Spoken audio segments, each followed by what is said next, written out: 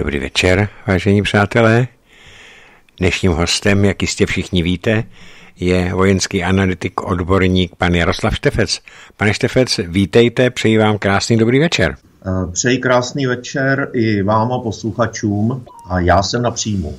Tak, to jsem rád, máme dobrý poslech.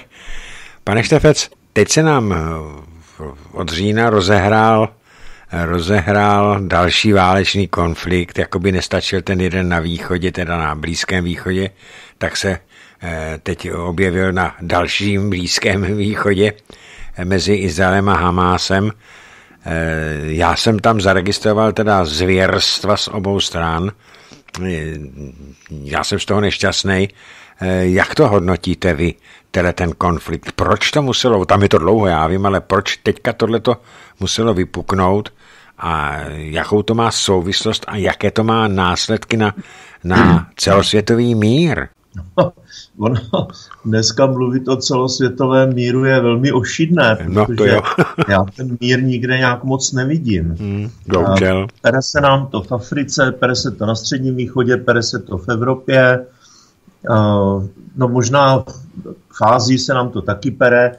Možná, že ta Antarktida teda. Tam, mož, tam možná je to v klidu, ano. Jo, jenom ty medvědě nám tam žerou ty tuleně, tak to hmm. je asi takový ten základní problém eh, v těchto místech, ale no, víte, ono to je, to je opravdu ošidný v tenhle moment uh, vyloženě hodnotit, a to říkám na rovinu, nebudu dělat ze sebe chytrýho, hodnotit důvod, proč k tomu došlo právě teď, Eh, určitým způsobem to samozřejmě dozrával ten konflikt v Izraeli dlouhou dobu. A tam na tom má ruku, rukou společnou a nerozdílnou se na tom podílejí všichni aktéři.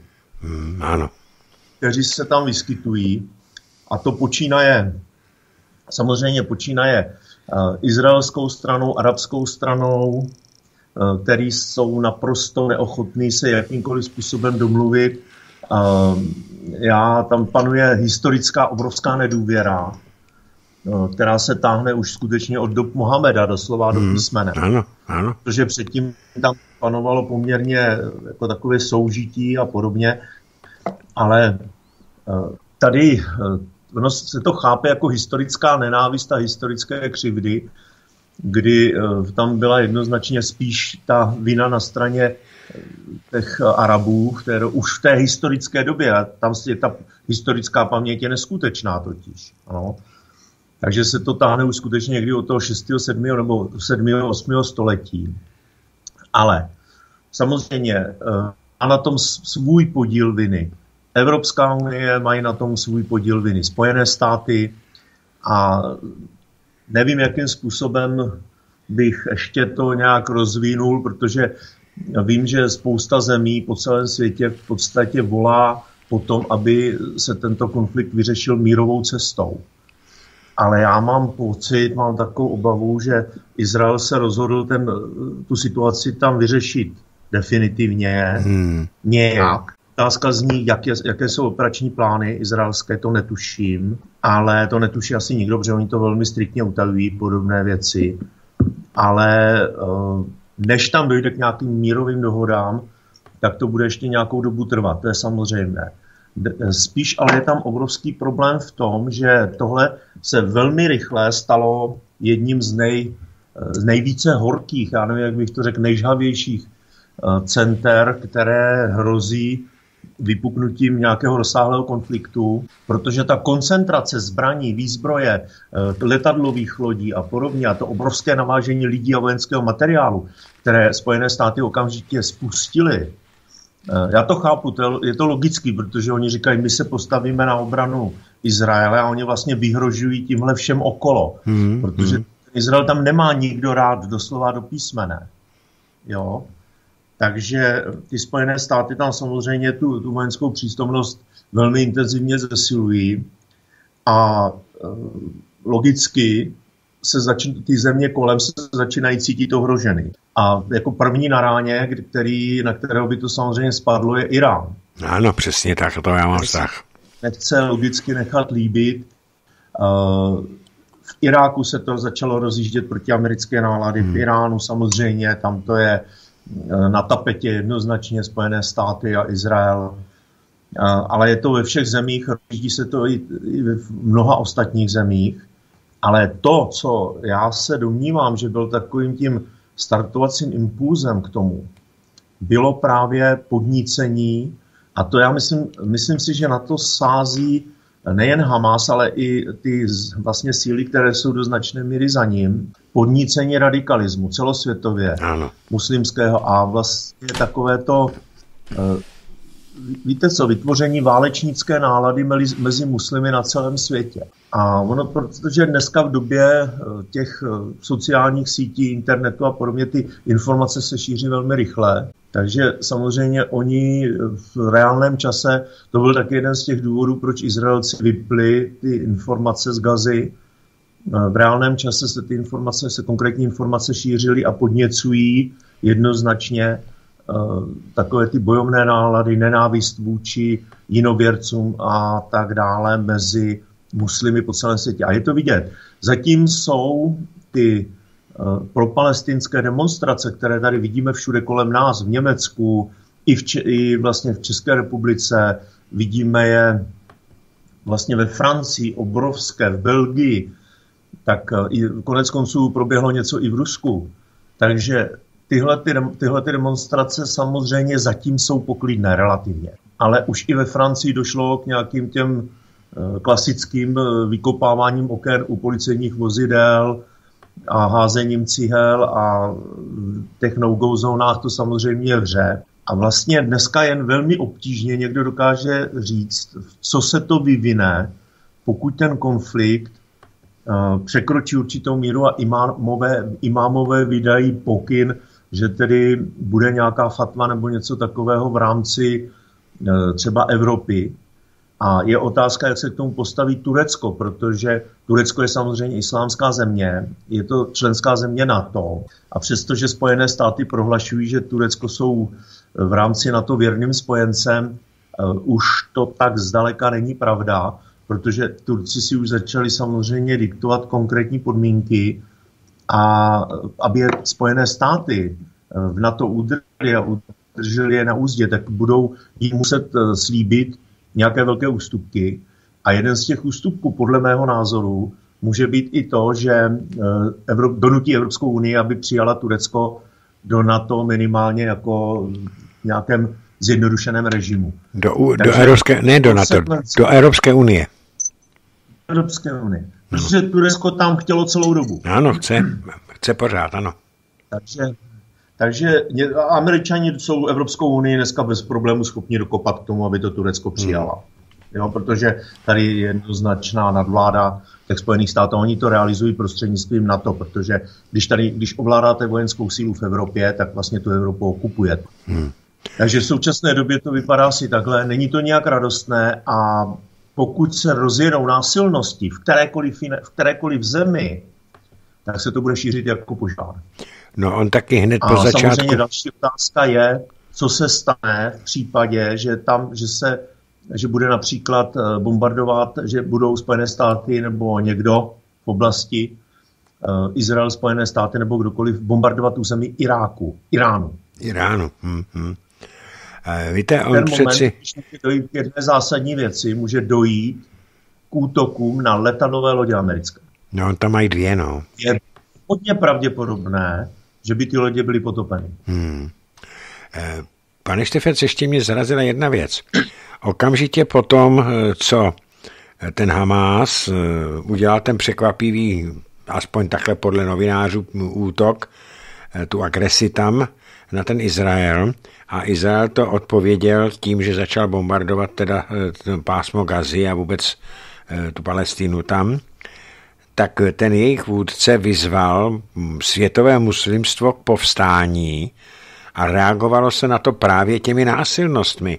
Ale zeptám se vás, co mě zarazilo. Já teda se striktně držím téze, že já nejsem ani na jedné, ani na druhé straně, nepřeju si, hm, aby se tam zapreváčilo, ale hlavně vím o tom, a je to, je to v našem tisku dokonce a v zahraničním taky, že se tam zvěrstva, šílená zvěrstva páchají na obou stranách a dlouhodobě. Takže hned na to eh, vypukly nějaké ty, ty nepokoje, byly tam vraždy a mm, co mě zarazilo, třeba v Londýně byla 150 tisícová, 100 až 150 tisíc se odhaduje pro palestinská demonstrace. A když jsem viděl ty záběry, to, to byly všichni, všechno muslimové, tedy arabové jako muslimové. Nebude tohle, jak jste říkal o tu vyhlášení, nemůžeme očekávat, že to opravdu vyhlásí, že půjdou do té války s těmi nevěrci? Všude na světě, oni jsou nalezlí všude přeci. No samozřejmě a my je sem pouštíme ve velkém. Když se no. podívejte, my jsme v prostřed obrovské migrační krize. Nikde se o tom nemluví, vůbec hmm. se o tom nikde nemluví. Ale nám tady obrovský narůstají počty nelegálů, který k nám prochází, přecházejí přes hranice. Afganistán, Pakistán, nejhorší sebranka, jaká vůbec hmm, může být ne, no. Pakistánci.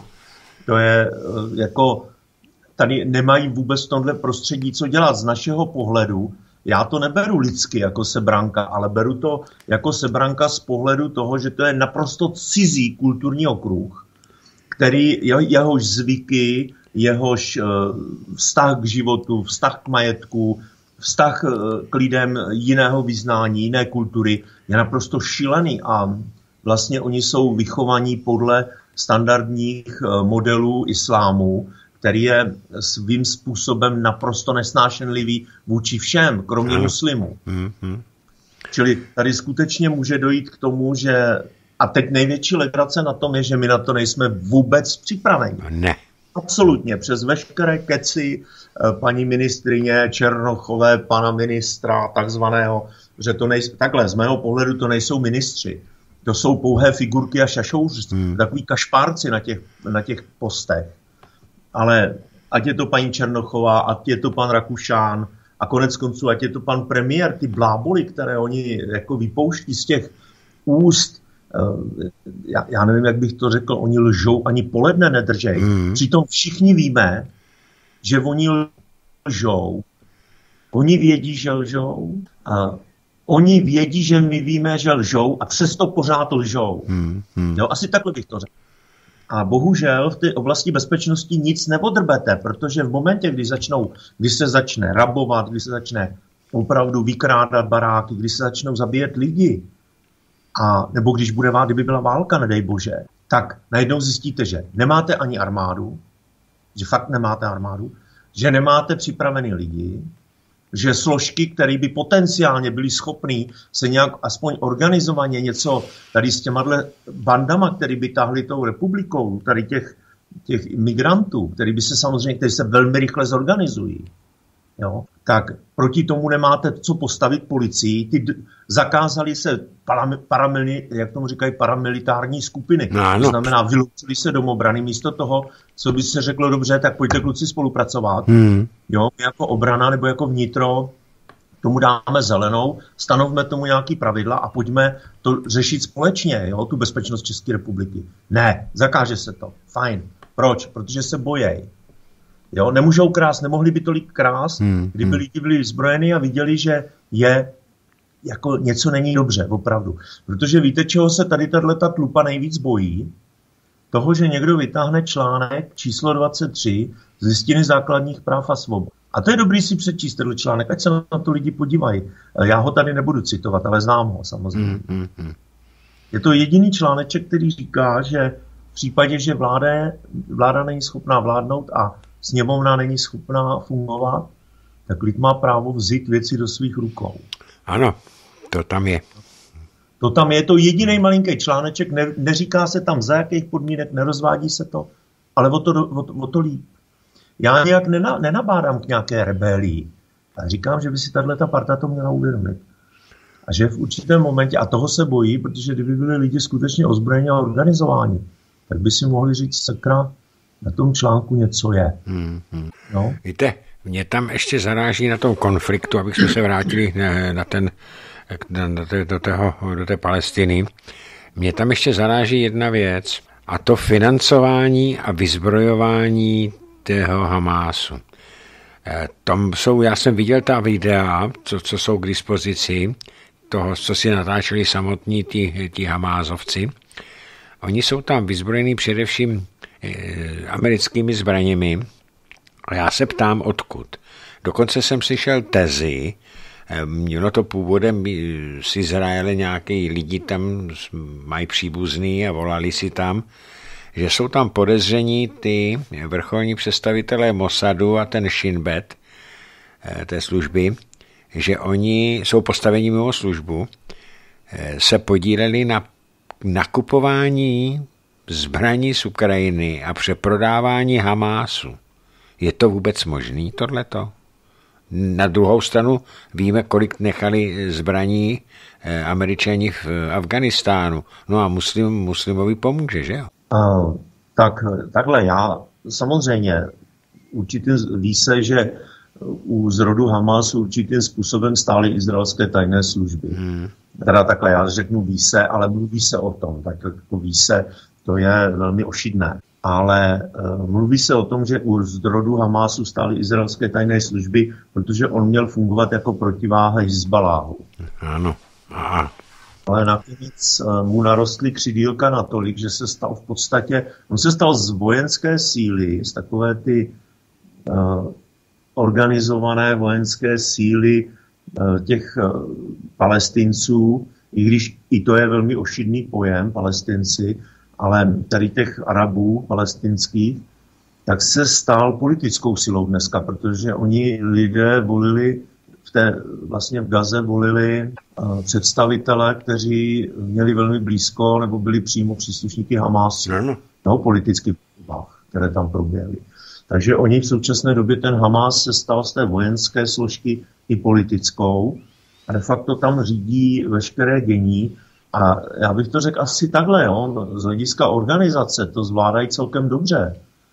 A když, eh, abych se dostal k těm zbraním, ten pohyb zbraní po, po světě, po Evropě, eh, po Ázii, po středním východě je dneska naprosto nekontrolovatelný.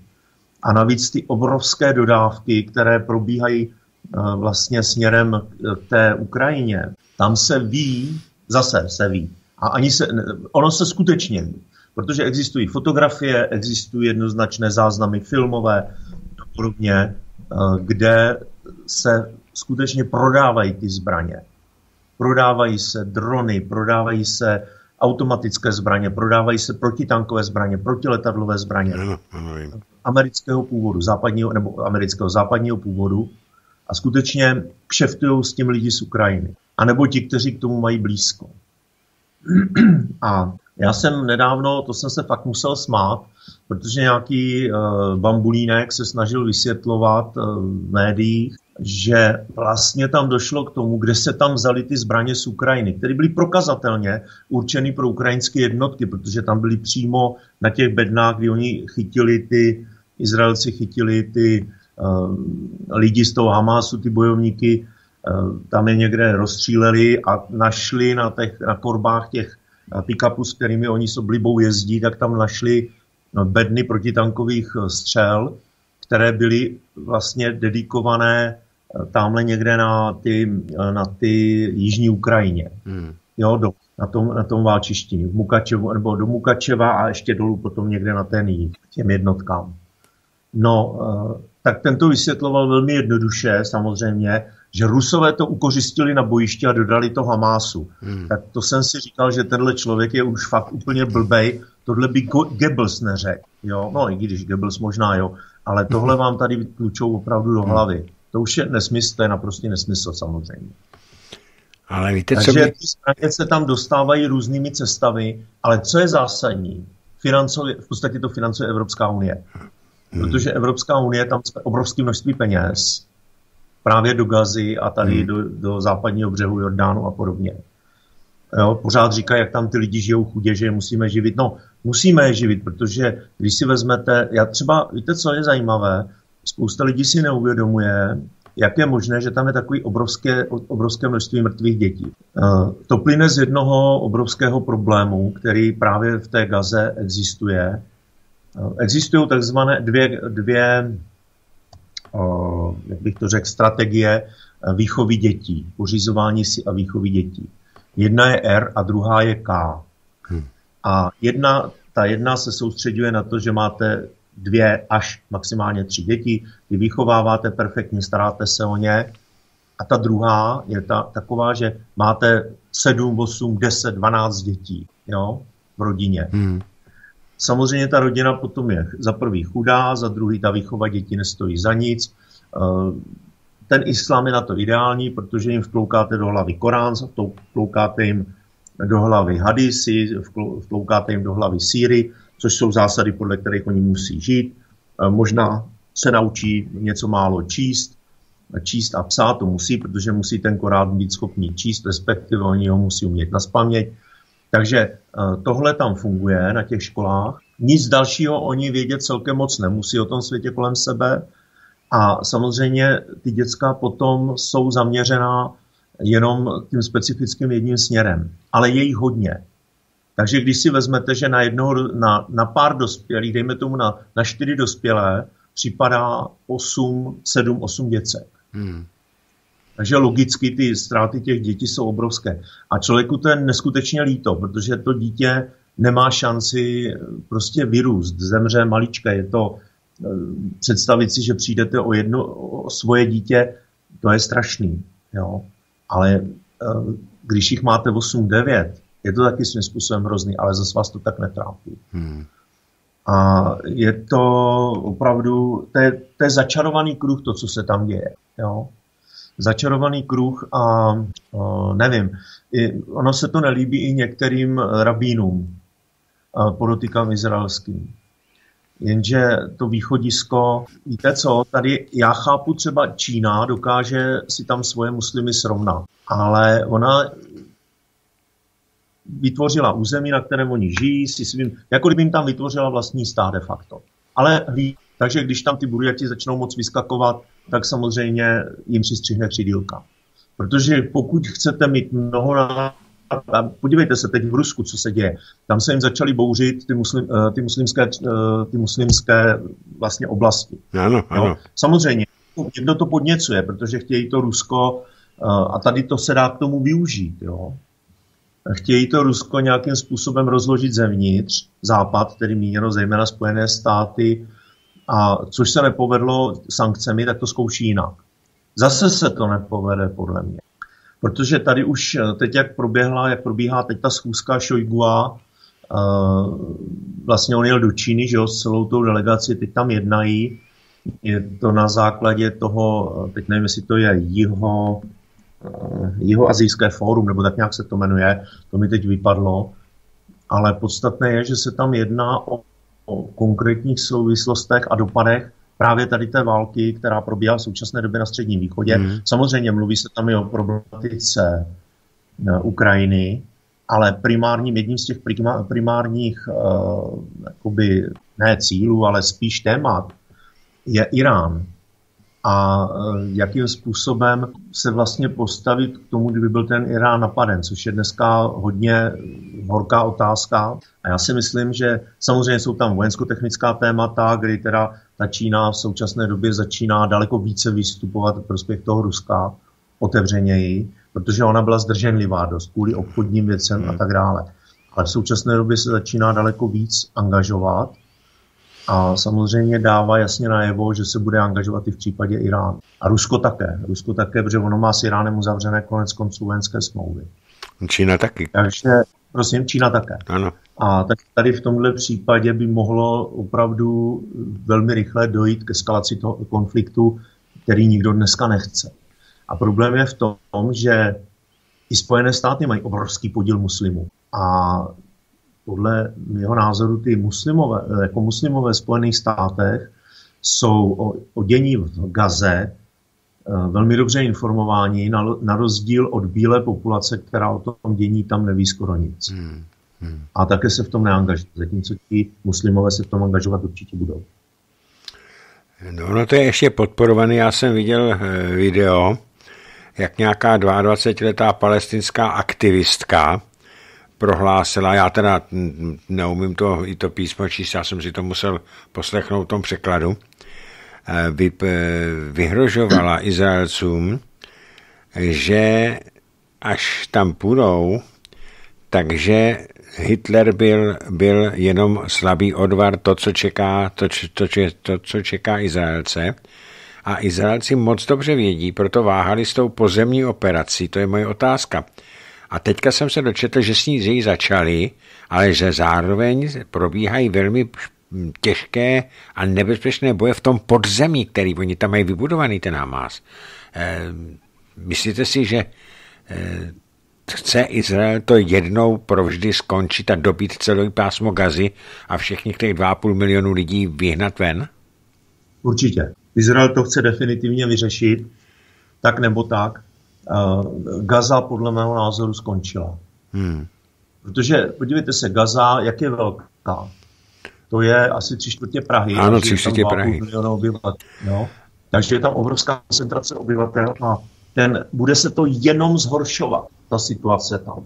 Ta se nebude lepší. Hmm. Z těch důvodů, o kterých jsem mluvil.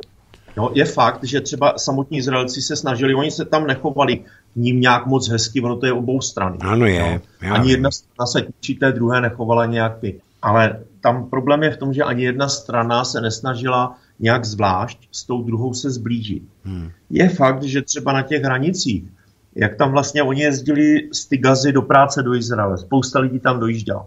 Byla tam spousta firm otevřených právě v tom příhraničním pásmu, kam ti uh, vlastně palestinci z té gazy jezdili pracovat. Ano, já. Byly tam společné firmy, jo, kdy oni vlastně byli i spoluvlastníky těch firm. A vlastně pomáhalo to těm lidem přežívat, že vydělávali si nějaké peníze, uh, mohli nakupovat v těch, samozřejmě v izraelských obchodech v Izraeli a tak dále.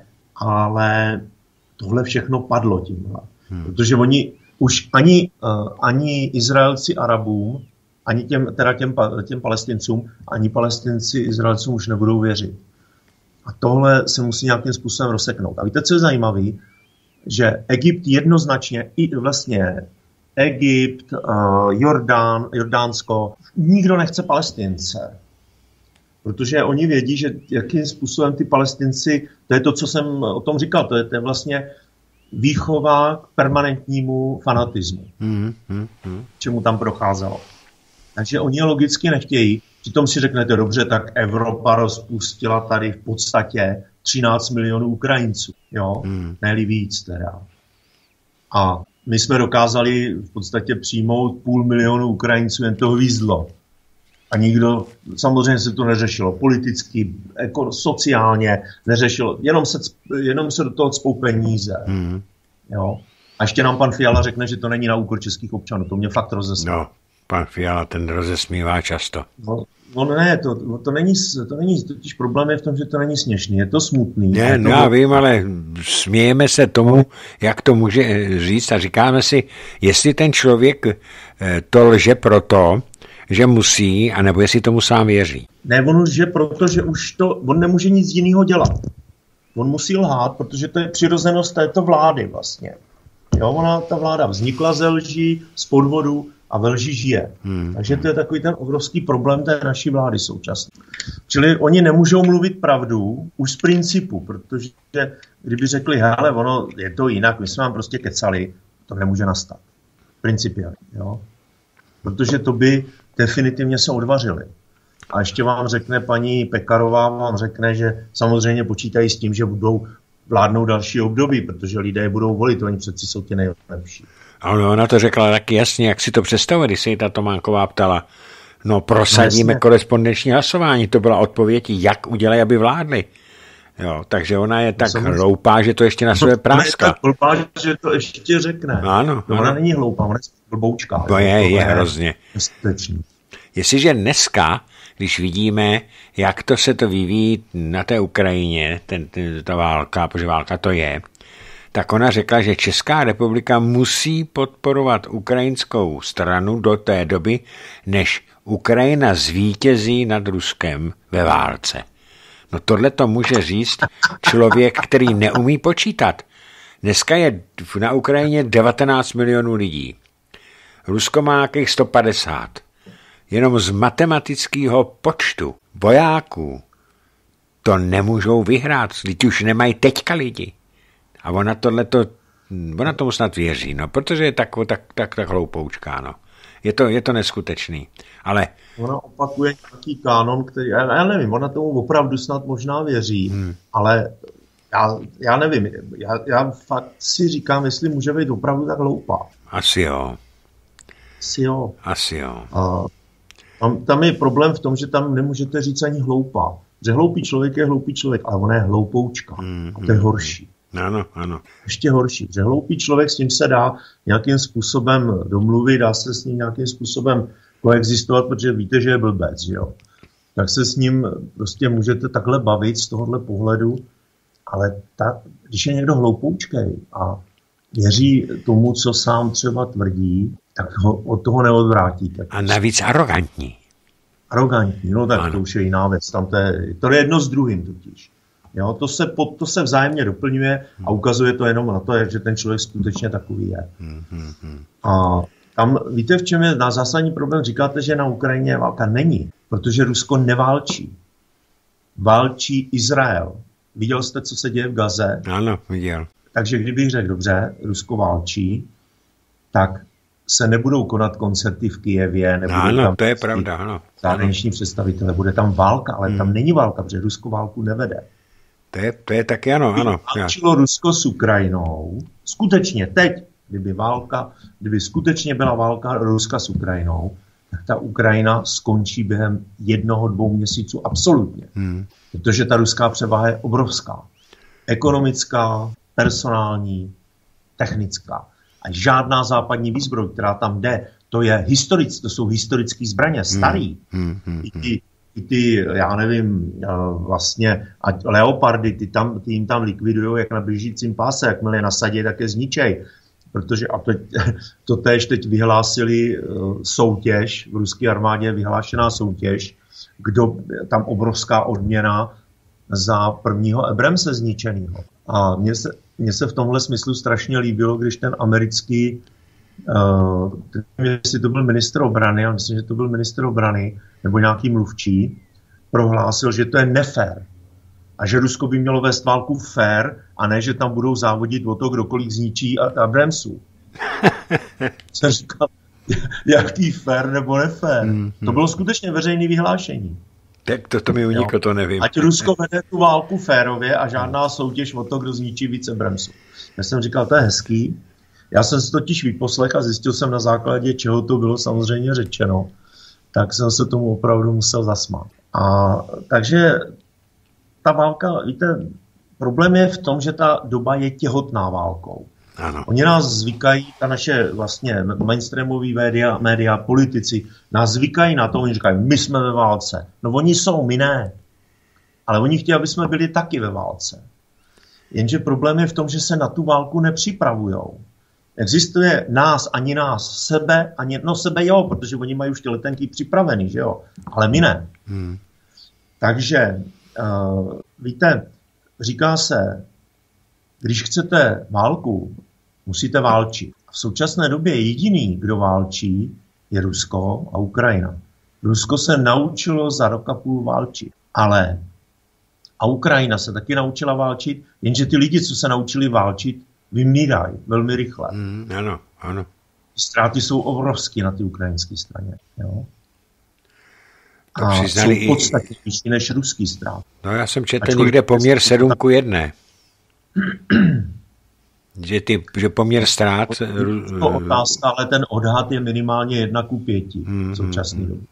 To se, to se shodují skutečně i zahraniční odborníci, i Britové, Britové i Američani, skutečně takový ty objektivní, uh, objektivně uvažující lidé se shodují, nebo ty analytici se shodují na tenhle poměr. No. I A tak. v té technice je to ještě daleko horší, že tady vám ukážou, jak Ukrajinci udeřili na ruskou kolonu a zničili tam, já nevím, pět kusů techniky nebo šest.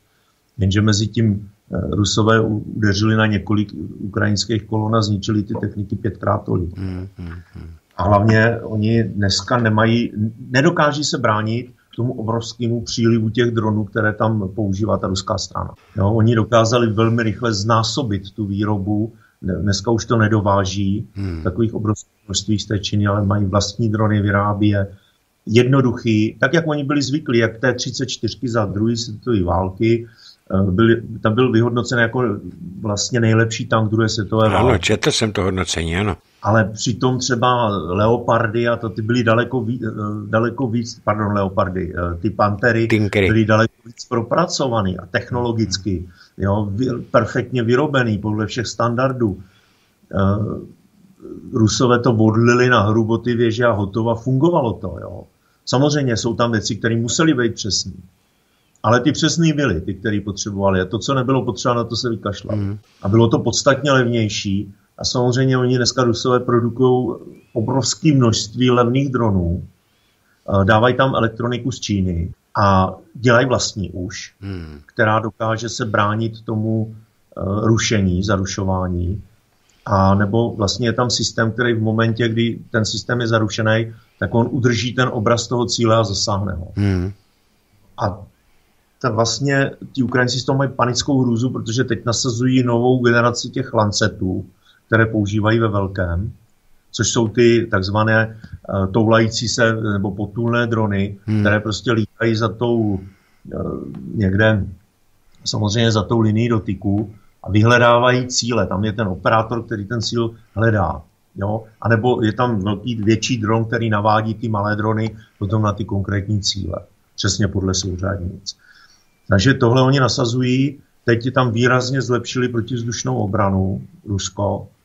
To bylo těch devět stíhaček, které jim se střelili během vlastně 48 hmm. hodin. A, no, nevím. Jak říkám, Rusko neválčí. Ukrajina bojuje. Oni tam se bojuje prostě. Na té linii se bojuje ale Rusové neválčí. A vyčerpávají tu Ukrajinu a zlepšují si politické postavení po celém světě. To je, je to hra a ten šachová hra a Putin v ní vyhrává. No. Já jsem Neříkám, že je pro nás dobrý nebo špatný. Pro nás je, my jsme, musíme být opatrný vůči každý velmoci, vůči každému. Měli bychom si udržovat svoji neutralitu. Hmm. A to jak vůči ukrajinsko-ruské válce, tak vůči tomu konfliktu na, vlastně na tom, eh, na tom Blízkém východě. Eh, v podstatě takové ty keci paní Černochové, vystoupíme z, z OSN. Ona je tak hloupá, neskutečně.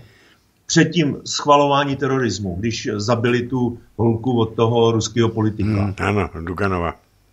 Ona říká, to schvaluju smrt takovou, jo, něco psi, psům si smrt tam dokonce prohlašovala nebo něco podobného. To bych kecal, nevím to teď určitě, ale schvalovala to. Teď tady máte, vystoupíme z OSN večer, napíše. A ticho po pěšině.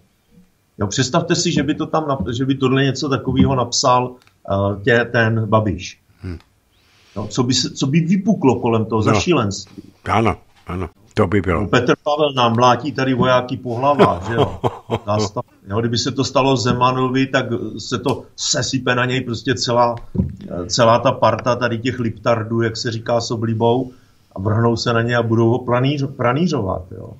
No tak, já nevím, no. Ten náš svět se stává divným. Když on už, víte, kdo řekl, eh, doba vymknuta z kloubu šílí? V 16. století to říkal Hamlet eh, v Shakespeareův. Philly Shakespeare, ano. že už v 16. století ano. pořád ta doba je vymknutá z kloubu určitým způsobem z pohledu současníků, ale my jsme byli zvyklí teď na to, že 70 let tady byl klitamír. Ano, přesně tak. Jednou to je prostě všechno jinak. Jo. Já jsem taky, pane Štefec, jedno, eh, četl nějaký prohlášený, jaký rozdíl mezi eh, proč Rusko získává v podstatě podporu eh, jiného světa, kromě anglosaského samozřejmě, do toho počítám do toho anglosaského světa i Evropskou unii, protože ten rozdíl mezi bojem Ruska a Izraele je naprosto rozdílný. Zatímco Rusové bojují tak, aby nebylo, aby bylo co nejméně eh, těch civilních obětí, tak Izraelci to berou šmahem. Bez ohledu, no bez ohledu na oběti. No, Civilní. to má, má to svoji logiku, protože uh, tady, no já, víte, ono to je složitý, to hodnocení. Já už jsem to říkal, že obě ty strany na tom mají obrovský podíl vlastně viny. Ano, mají, mají. A já chápu ty Izraelce, protože to, co se tam stalo, to, co ten Hamas udělal, to byla fakt prasárna na ultimum. Hmm. A vtip je v jedné věci, oni tam použili skutečně zás, a to se tady vůbec o tom nemluví, ale přitom se to objevuje v hodnocení třeba i amerických uh, specialistů. Oni použili hodně prvků z toho, co používá Ukrajina. Jo? To, to znamená, protože vtip je v jedné věci. Na ukrajinské straně zcela jednoznačně bojovali a pravděpodobně ještě pořád bojují jednotky, které jsou vlastně uh, islámské. Tam byl, přeci tam bojoval prakticky dva islámské prapory tam hmm. bojoval.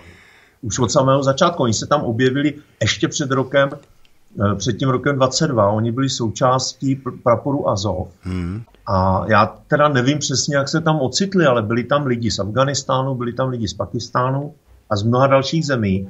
Byli tam i ty lidi vlastně z těch zemí z Dagestánu a podobně, což je dneska součást uh, Ruské federace.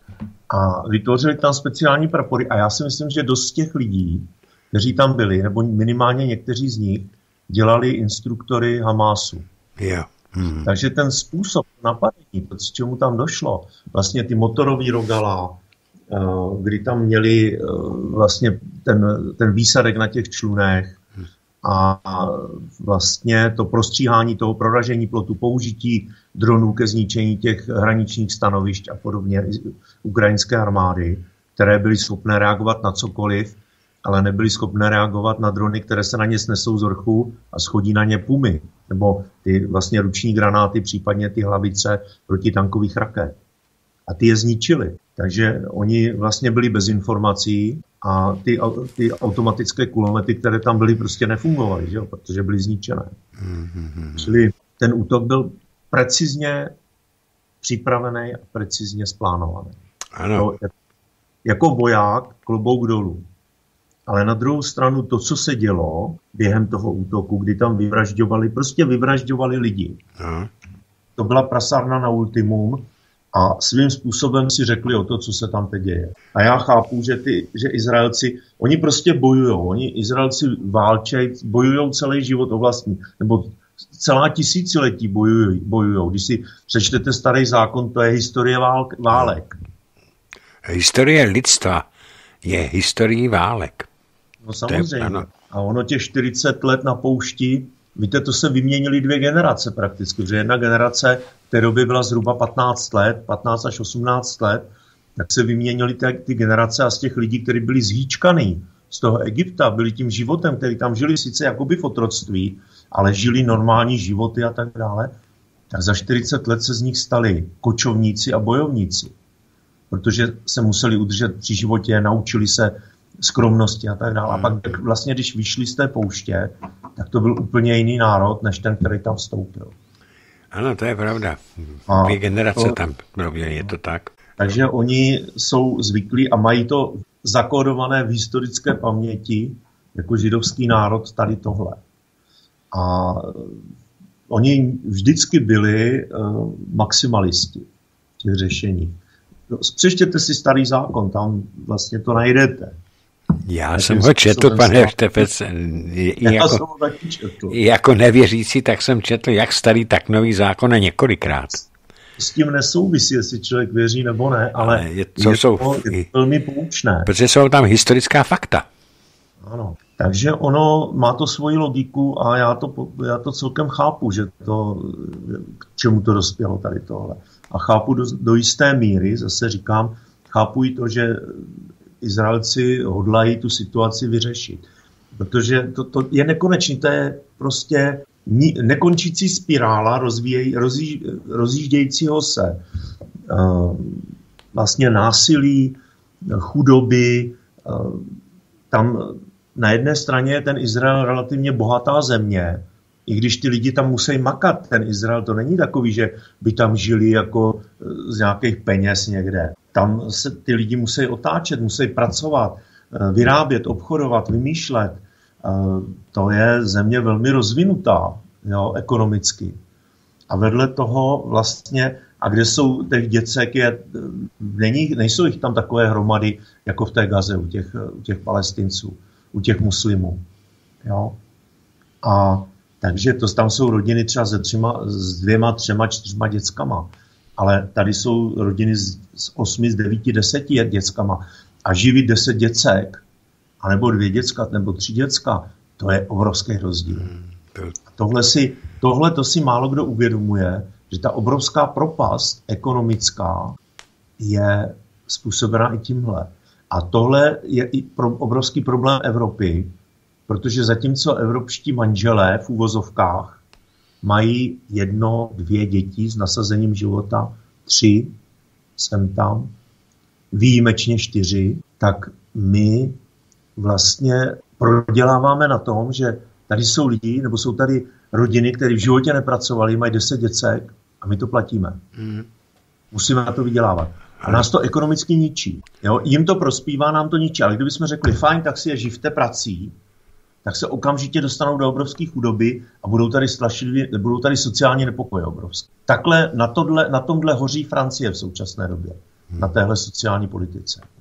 A ta politika je špatná pro všechny strany, pro všechny zúčastněné strany, pro lidi, kteří tady, tam nebo tady žijí, i pro ty lidi, kteří žijí z těch peněz, které takhle dostávají. A pro lidi, kteří, kterým, je, kterým je vlastně umožněno žít třeba z lichvy. Mít na sobě navěšených pět kilo zlata bez jakýkoliv práce. A podobně. Jo, tohle tady funguje. Ano, funguje. A funguje to celoevropsky, bohužel. A já říkám, ano, nemůžu odsuzovat ty lidi, kteří tohle dělají, ale odsuzuju nás jako společnost, která to umožní. Před rokem 89 to tady nebylo, teď to tady máme. A bohužel je to další tenze, další obrovské společenské a sociální napětí, který může kdykoliv vybuchnout a připojit se k tomu, co se v současné době děje, pokud se ekonomicky položíme. A k tomu spějeme. No samozřejmě, že tomu spějeme. Já jsem dneska jsem přečetl, že jsme jediný stát Evropské unie, eh, kde eh, klesá výroba, klesá ekonomika a že jsme nedosáhli ještě ani té úrovni covidové, takže jsme jediná, jediný stát v Evropě. Ale eh, to, já bych se chtěl zeptat na váš názor, jak je to teda možné, pane Štefec, že po celém světě čtu, jaké jsou obrovské pro, i pro palestinské demonstrace a dokonce v Německu se začaly objevovat antisemitické nebo antisemické prvky, jako byly, jako byly v 30. letech. Eh, židovští obchodníci mají malované Davidovy hvězdy, anebo psané na, na dveřích, kde žijí judé a tak dále. Kam to, jak to je možné, že a těch proizraelských demonstrací, tak těch je mnohem méně. A jsou ještě, eh, ty demonstranti jsou ještě jakoby persekvováni policií. Například eh, v australském Melbourne byly dvě demonstrace současně, jedna pro, pro palestinská, jedna pro, pro izraelská. Zatímco na tu propalestinskou demonstraci policajti jenom se dívali, tak na ty proti, a ta byla větší, a na tu menší, tam bylo asi 2000 lidí, tam bylo asi 7, tak na tu menší šli ty těžkoviděnci a rozháněli je. Vysvětlete mi, kde se to bere, že se ten svět přestal na ten problém dívat objektivně, ale přiklání se pouze na jednu jedinou stranu. Tak jako v první řadě je to záležitost politická, protože já jsem teď jsem o tom mluvil. Je to sociální, uh, vemte si těch muslimů je obrovské množství v Evropě. Hlavně, především v hlavních městech, ve velkých městech. Vezměte si, že v Británii je obrovské množství měst, to jsou desítky, kde muslimové jsou oficiálně vládnou. Ano, je tam třeba ano. muslimský starosta je to muslim. Jo? Mm-hmm. V Německu už vám jdou nahlas mešity. Myslím, že teď nevím, jestli to je v Magdeburgu nebo kde. Jo, kde to povolili. Mm-hmm. Bo v Mnichově. V Mnichově zatím večer mešity vyvolávají už normálně, volají k večerní modlitbě. Teď uh, si představte, že byste začali prostě ty muslimy, kterých tam máte desítky tisíc, v některých případech i stovky, tak je začnete mlátit. Tak co udělají? Oni se zbouří. Logicky. Oni jsou úplně naturelem jiný. Hmm. Jsou vychovávaný k tomu nenechat se mlátit od bezvěrců nějakých pitomej. A jediný, čemu rozumí, je síla. A my jako Evropa nemáme. Česká republika nemá armádu, respektive má nějaký vojáky, asi 44 tisíc tvrději, jenže v současné době těch, těch 44 tisíc vojáků má nějakých slabých kolem 80, k prvnímu lednu jsme měli asi 80 tanků. Hmm. Dneska se jich ještě další hromada poslala na Ukrajinu. Takže jestli máme nějakých, já nevím, provoz schopných možná 10-15 tanků, letadel vrtulníků sem tam něco, a ta armáda, ta z těch 40, eh, 44 tisíc lidí, kolik je bojovníků? 8, 9? Nepřipravený bojovat, nepřipravený válčit. Prošli Afganistánem, hmm. to není válka. Tam seděli na základnách někde. Jo, byli tam borci, odstřelovači, kteří pobili desítky lidí, někteří. Hmm. Nevím, jestli z toho mají mindrák nebo ne. Ale to je realita, to nelžu, to si nevymýšlím. Tyhle lidi, lidi skutečně existují a s jedním z nich jsem se setkal. Hmm, hmm, hmm. My jsme tam nebyli žádný Mrušové, Papušové, kteří hlídali základně. Jo? Takže ono to není jednoduchý. A problém je v tom, jak se tomu chcete postavit. Dobře, ve Francii málem došlo k vojenský spouře, když ti vojáci jasně prohlásili, že chtějí řešit ten problém, protože uvědomte si jednu věc.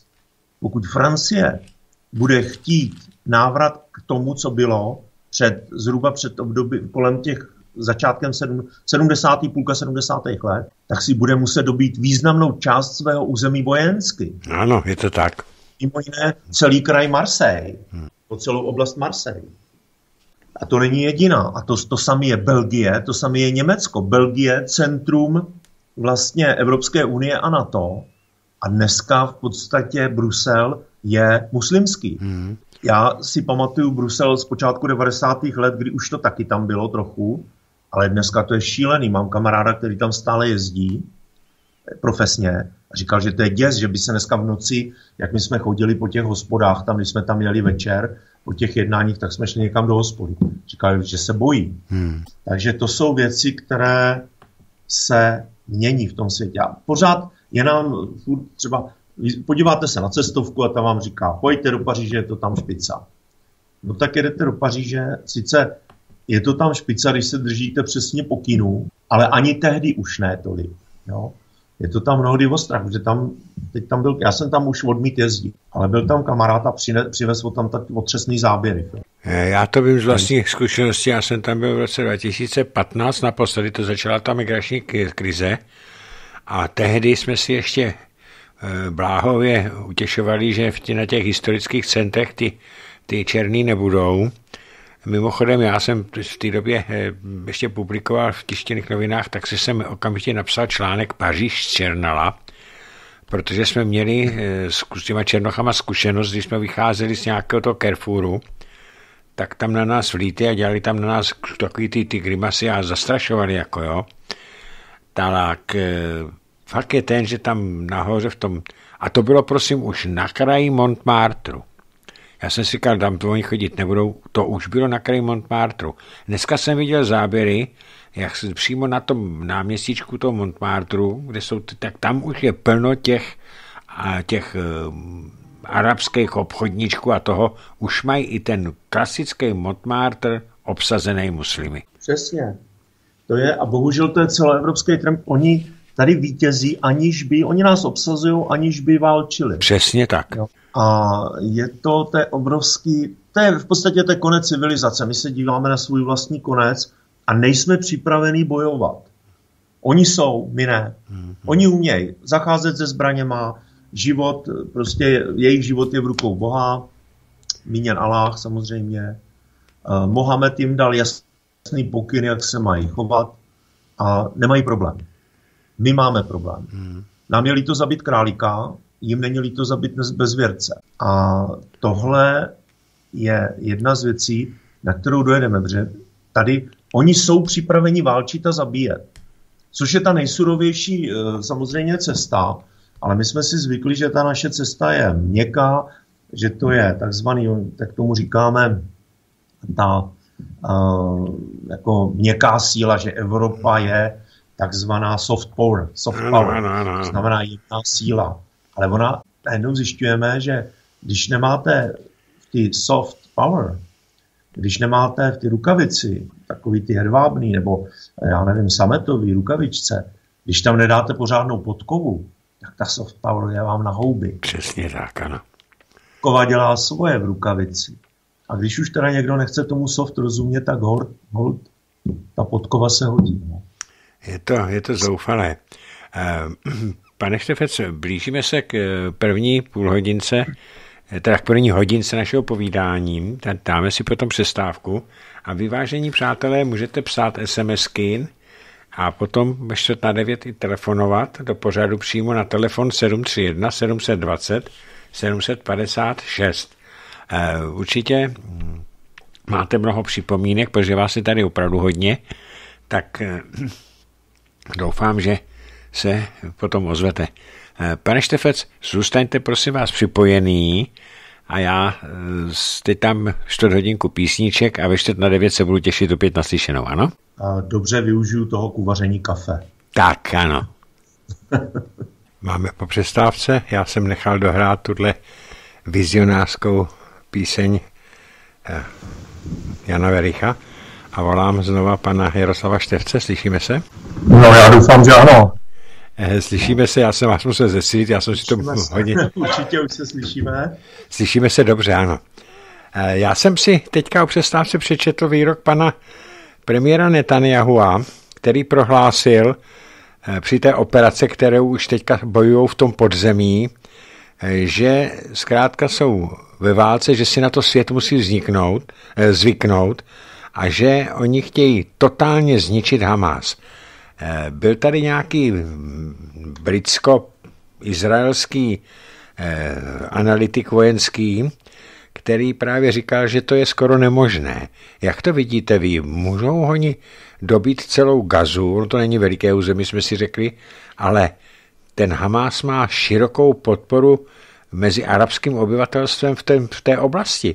Můžou vůbec zničit Hamás? Tak Hamas eh, nerovná se jednoznačně ani, ani Palestina, nemůžete říct.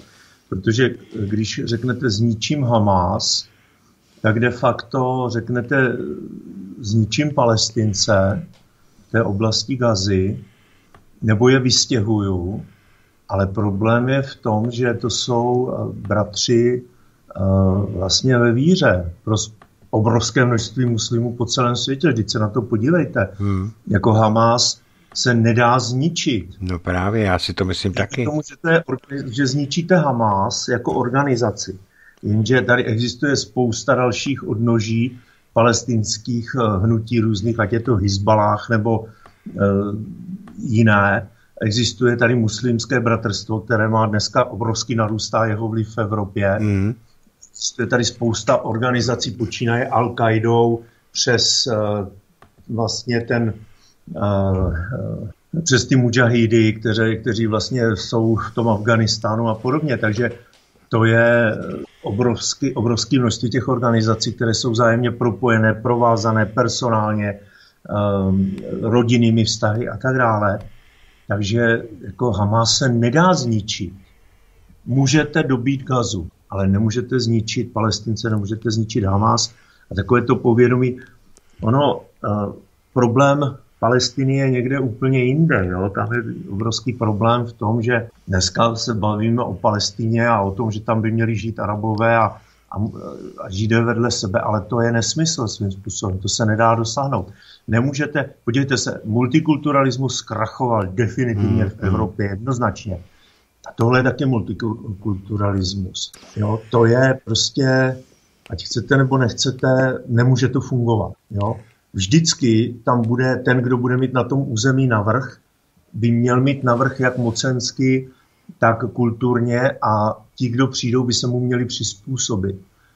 Samozřejmě, přišel Izrael, vybojoval si svoje, přišli Židé, vybojovali si svoje, ale vtip je v tom, že vlastně celé, té, celé to, celý ten britský mandát eh, Palestina byl zřízen eh, s cílem vytvořit místo pro život Izraelců. A takhle to bylo deklarované.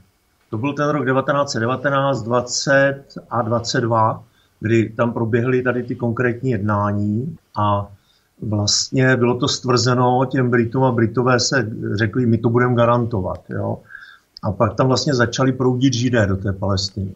A začali tam vytvářet svoje společenství a stát postupně. A po té druhé světové válce tam byl obrovský příliv těch židů, kteří vlastně přišli z těch zemí, které byly eh, napadány ze strany těch, eh, které byly napadány, kde byly ty židé napadány ze strany nacistů, fašistů a podobně a byli vyvražďováni ve velkém, protože konec konců i my sami to známe, protože kolem 25 tisíc nebo 250 tisíc českých občanů eh, vlastně židovského původu eh, zahynulo za té druhé světové války. 250 tisíc. Hmm. Jo. Bylo přes 300, měli jsme 320 tisíc obětí a z nich značná část byli židé, kteří tady žili na tomhle území. Takže se nemůžeme divit, že ti, kteří přežili, odešli a hledali svůj stát, kde by byli mezi svými a nemuseli žít v těch diasporách, kde jsou ohroženi. A dneska vlastně se to vrací. Bavili jsme se o tom Německu předtím, že jo? Mm, mm, mm. No, tam, tam zase, víte, tam je ještě jeden obrovský problém. Uh, ono obecně dochází k něčemu, čemu, co bych já jako bez jakéhokoliv, bez uzardění nazval fašizace Evropy. Ano, já to říkám taky. A je to, má to svoji logiku a prostě tak, tak to je, tak to je, musíme vnímat, eh, když i vlastně ta největší, kdysi dávno Kurt Waldheim, což byl předseda valného zhromáždění eh, OSN, tak se pak zjistilo, že měl eh, vlastně SSácké kořeny, že ano, tam je vlastně ano. služba se s jeho rodině a tak dále. Hmm, hmm. A vemte si von Leyenovou. Taky. Ty příbuzenské vztahy jsou také. Samozřejmě má to svoji logiku, protože v tom Německu měli všichni máslo na hlavě. Jo, takže, nebo naprostá většina těch lidí, někteří žili normálně, ale samozřejmě spousta lidí to máslo na hlavě měla, že se zapletla s tím režimem a podobně.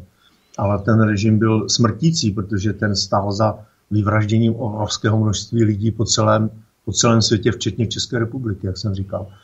A bohužel ta Evropa se k tomu vrací a je tady jeden obrovský problém, který si málo kdo uvědomuje, protože nacisté, němečtí nacisté, což jsou nacisté, ne fašisté, podotýkám, si velmi dobře rozuměli s muslimy.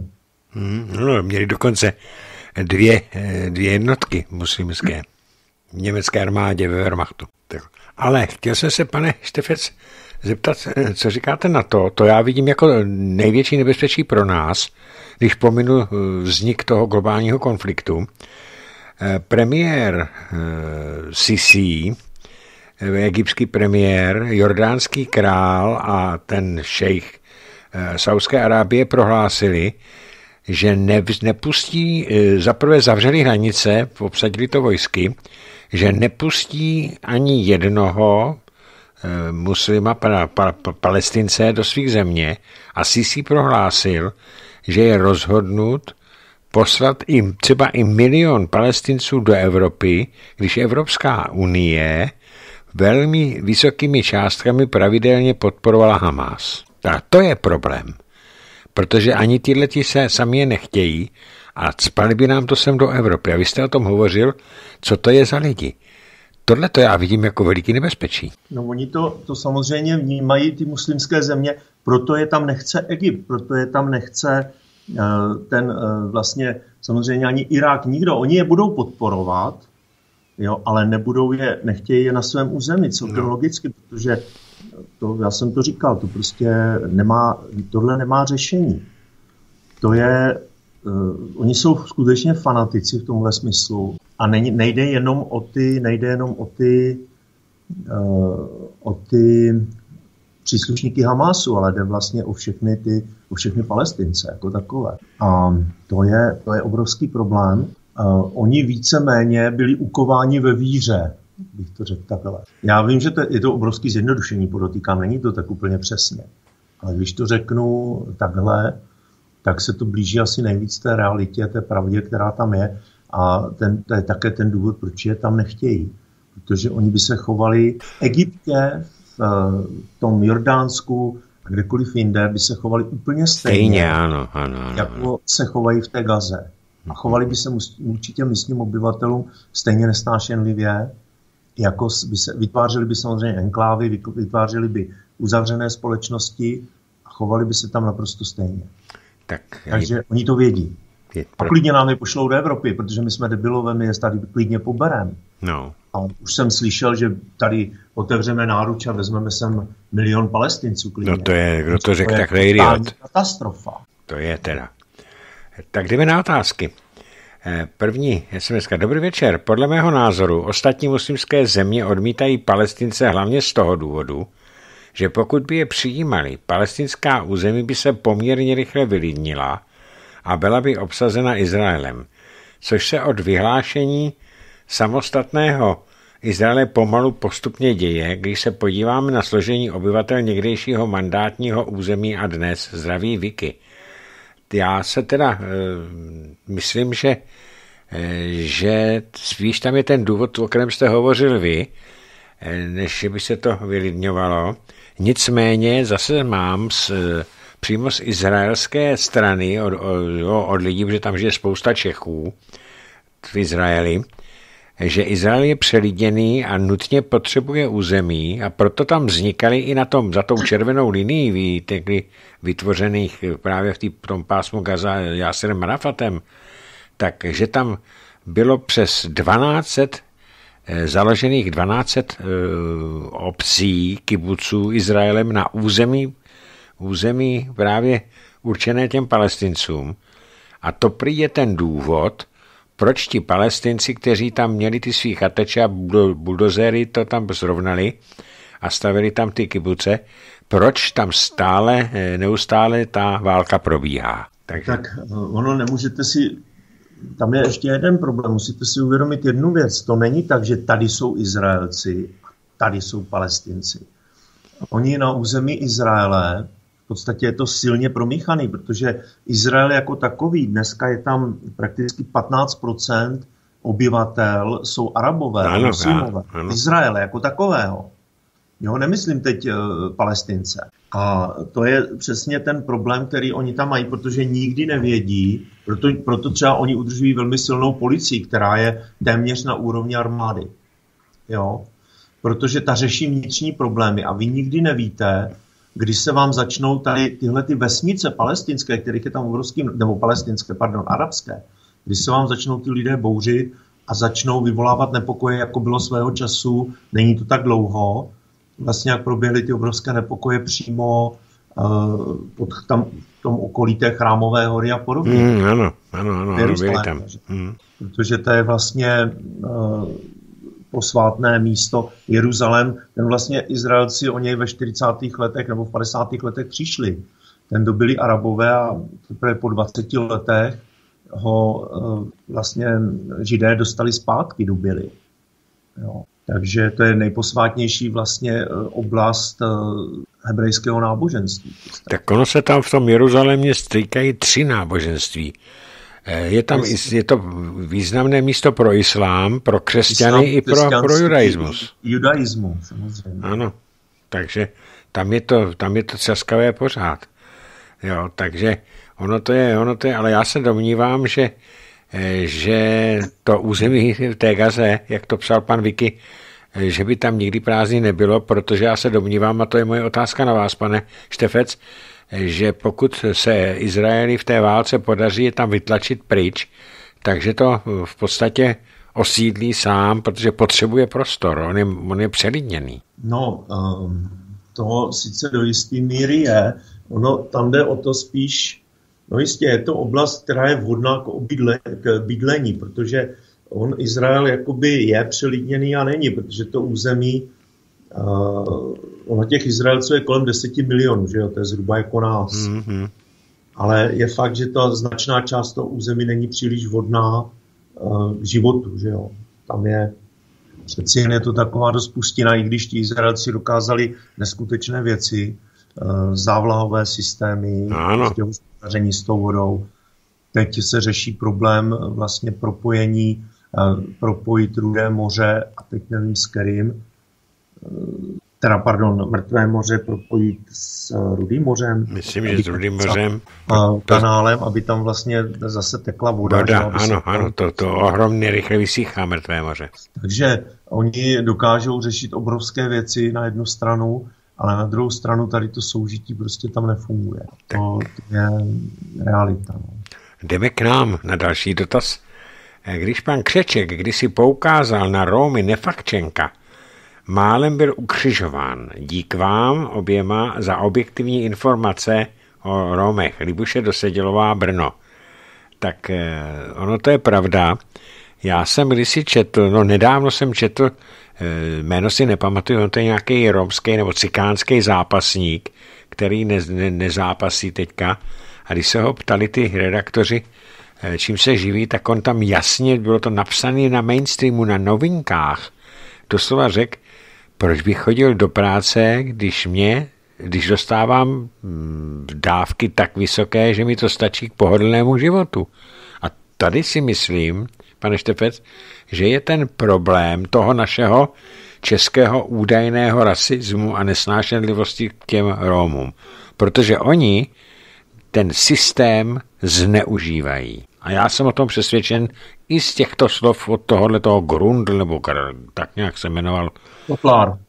Tak, ano, ano, ano, ano, ano, Kotlár. Ale já vám řeknu jednu věc. Ti lidé ho nezneužívají jim je umožněno to zneužívat. Jim to umožňuje tento stát. Samozřejmě, to je pravda. Ano. Takže oni ho zneužívají proto, že jim to náš stát eh, umožňuje a já je nemůžu za to vinit. Oni dělají to, co jim je povoleno a to, co mohou a to dělají. A žijou si veselým životem. Samozřejmě nás štve, že existují privilegované menšiny, které mají svoje obrovské, obrovská lobby. Ať to je LGBT eh, plus nebo co, jakákoliv romská menšina. Eh, všechny tyhle menšiny mají obrovská lobby, která za ně bojují a lobují a, a vydělávají na tom neskutečné peníze, protože jsou zastoupeny různými neziskovkami. Ale zkuste si založit neziskovku na podporu obyčejných lidí z vesnice. Hmm. Nedostanete korunu. Ne. Ne. Ani v rámci České republiky, ani ze zahraničí. Se vám vysmějou, řeknou, že jste idioti. Máme tady lidi, máme tady zákony, ať si podle toho žijou. Ne, zákony musí platit pro všech a nemůžou existovat privilegované skupiny. Nemůžou. Jak ze, z oblasti zákona, jak z hlediska zákona, tak z hlediska sociálních uh, pravidel, uh, dávek a tak dále. Prostě nepracuješ rok, dva, konec. Žádný dávky hledej si práci. Jenomže ono... To šlo. šlo to minule. Hm. Před rokem 89 i Romové, tehdy cikáni, museli pracovat.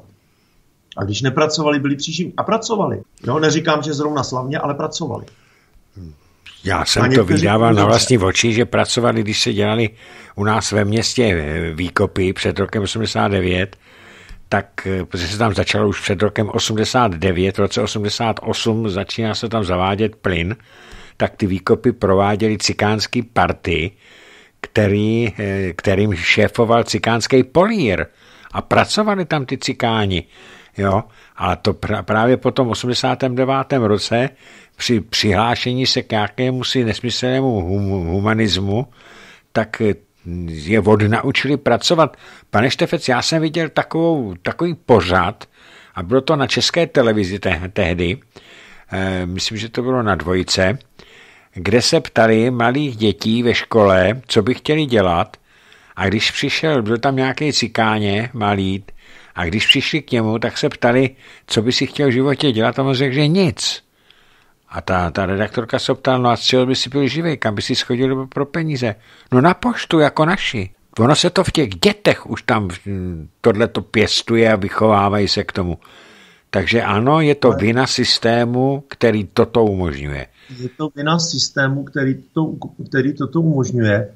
A já vám to řeknu takhle. My si tady vytváříme a generujeme svoji vlastní gazu. Hmm se kterou se jednoho krásného dne budeme muset popasovat v momentě, kdy dojdou peníze na financování tady tohohle systému.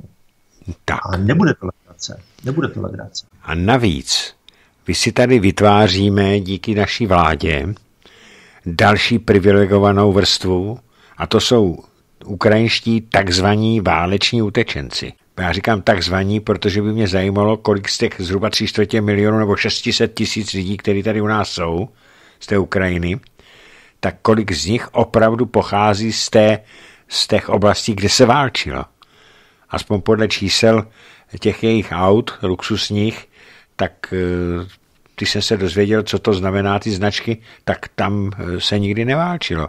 A my si z toho zase tady vyvážíme privilegovanou vrstvu, protože oni si parkují kde chtějí a když zavoláte policajta městského, tak ten dá od toho ruce pryč. Kdyby tam byl Čech, tak ho odtáhne a stojí ho to, já nevím, tři tisíce. No samozřejmě, tak to je, uh, víte, to je, a to je problém bezpečnostní, protože už dneska existují, existují důkazy prorůstání vlastně ukrajinských mafií, které se sem přesunuly z té Ukrajiny a hmm. radostně, protože tady, je, tady žijou naprosto svobodně.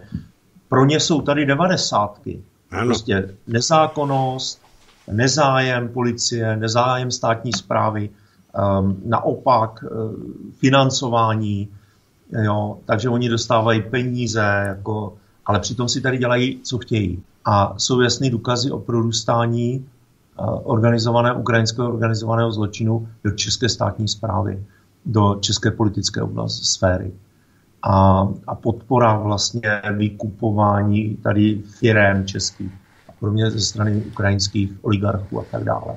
Ano. Takže my se Ukrajini, ukrajinizujeme a bohužel Ukrajina uh, je synonymem pro korupci. Ano, je to. Takže nás to povede k obrovskému nárůstu korupce a já vlastně třeba dneska, když vidím, když sleduju to, co se děje, protože to mi je blízké, na rezortu obrany, tak člověk by čekal, že se armáda skutečně bude připravovat na nějaké průšvihy, hmm. které můžou nastat, ale se na ně nepřipravuje. Ministerstvo, jediné, co probíhá, tak jsou přípravy na obrovské vlastně útraty, které připravuje ministerstvo obrany, naprosto bezmyšlenkovitě a stupidně, aniž by analyzovalo zkušenosti ze současných válek bez vazby na národní obraný průmysl, na ty jeho zbytky, které tady ještě zůstaly, bez vazby na realitu toho, co se skutečně na těch válčištích děje, tak se tady dějí neskutečný zvěrstva a paní Černochová si na to, aby ty peníze bylo možné správně směrovat do správných kapes, ještě najala bývalého ministra obrany no, no. Slovenské republiky, pana Nadě, hmm. což je absolutní stupidita. Mě volají kamarádi ze Slovenska, přátelé mě volají. A říkají, ty vole, čo to robíte? Víš ty, co to je za kokot? Já se omlouvám. Ale mě to volají taky. A větě, takže on se, takhle se mě ptají a to není, to, mě už volalo tak asi 10 nebo 12 lidí. No. Tady se mě na to, co se to tady u nás děje protože ten, tomu tam hrozí trestní stíhání na daleko větší úrovni, než tady e, byla stíhaná krvavá vlasta svého času, mm, času mm. že jo, Parkanová za letadla, e, za který reálně, no, ne, že nemohla, no, řekli politická, jaká je politická zodpovědnost? Politická zodpovědnost neexistuje. Mm. Když kradete, když se krade a je tam, je tam prokazatelná korupce, což byla, tak tady je je to o tom, že jste, se účastníte na vlastně organizovaném zločinu. Jste součástí té skupiny bez ohledu na to, když to umožníte, že jo, bez ohledu na to, jestli z toho máte profit nebo nemáte. A to já nedokážu říct, jestli třeba měla nebo neměla. Ale realita je taková, že tady proběhla skutečně obrovská lumpárna, jejíž mechanismus já znám. A samozřejmě vím, že tohle se bude dít ve velkém, při těch obrovských nákupech, které se tady chystají, při těch obrovských miliardách, který, se, který hodlá paní Černochová, nebudu říkat český stát, protože ona není český stát, ten neexistuje de facto. Ale paní Černochová to hodlá vyházet, hmm. připravit teda, aby se mohli vyházet ve jménu nějaké vize někoho, který je mimo území České republiky. A to je ten obrovský problém náš, že na tohle naskakujeme. Tak, Respektive naskakuje na to, naskakuje na to ta parta kašpárků, která si říká vláda České republiky, parlament a parlament, to znamená sněmovna a senát. Máme tady telefonát. Dobrý večer, slyšíme se? Dobrý večer, pane Kapale, já zdravím vás, zdravím i pana Števče, Števce, se omlouvám, to skloňování. A e, mám takový dotaz a pokud už jste o tom mluvili, tak se omlouvám, protože jsem chvílkama musela odcházet, takže jsem ne vše e, slyšela. Uh, slyšíme se? Ano, posloucháme pozorně. Ano. ano, takže já mám takový dotaz. Tady neustále se vykřikuje, jak Rusko páchá genocidu na Ukrajině. A já už teda nevím, kolik, jestli byste mě připomněl, pane Števče, kolik je teďka mrtvých civilistů na Ukrajině a kolik je mrtvých civilistů nyní té odvetné akci Izraele. Tak tady to srovnání by mě teda zajímalo. A potom, jestli můžu mít ještě takový jeden dotaz, co říkáte na to, že EU vlastně podporuje Palestinu finančně a teď, jako, a teď jsem slyšela, že vlastně máme uh, pomáhat i Izraeli. Takže my vlastně budeme finančně pomáhat oběma stranám konfliktu. To jako podle mě nedává smysl. A nevím, proč by jako chudí občané EU měli platit na to, aby jsme financovali buď to Palestinu nebo e, Izrael, když Izrael vlastně za ním e, mu, mu můžou pomáhat e, bankéři z celého světa, kteří většinou jsou židovského původu a mají určitě peněz dost a Palestinu zase arabské státy, které určitě Palestině a Hamásu taky pomáhají. Takže tady ty dva dotazy, jo, ano, ten počet mrtvých civilistů na obou stranách a tady váš názor tady na toto.